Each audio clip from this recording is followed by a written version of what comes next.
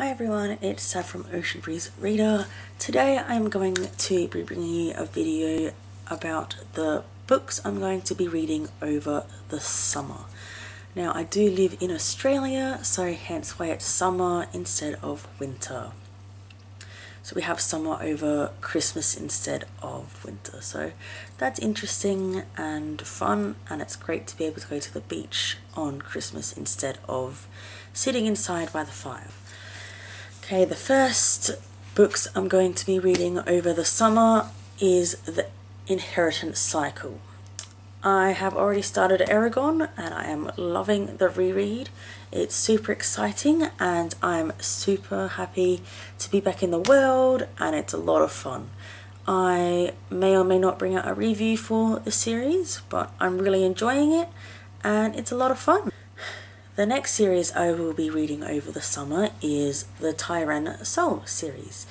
I love this series because it brings a mix of fantasy and romance in a really good way and it is quite adult the romance is and I really enjoyed the mix of a fantasy world where there's so many different things and new places and it's really exciting and the romance is a bit of a slow build but I really enjoy it and it's going to be another reread for me as I haven't read the series in a couple of years so I'm excited to get into that one.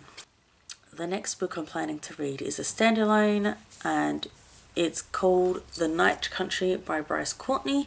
I haven't read this one yet my fiance's grandmother gave them to me because she knows how much I love to read and she's given me her whole Bryce Courtenay collection so I'm excited to get into that one and start my Bryce Courtenay journey. I haven't read anything from him yet so I'm excited to see where it takes me.